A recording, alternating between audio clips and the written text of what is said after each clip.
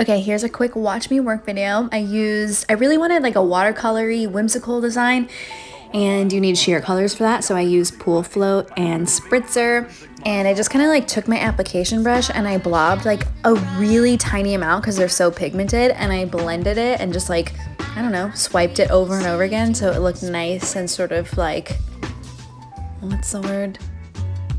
Perfect. Just kidding, I don't know what the word is. But I added white details and it's so cute.